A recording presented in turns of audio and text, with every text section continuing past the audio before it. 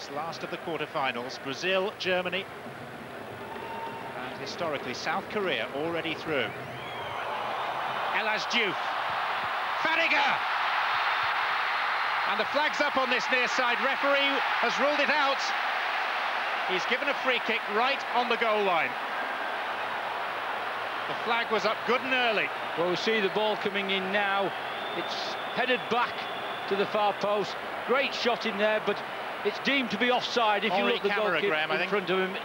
Camara is the player there, the number seven, deemed to be offside. And I think the uh, assistant referee has got that right.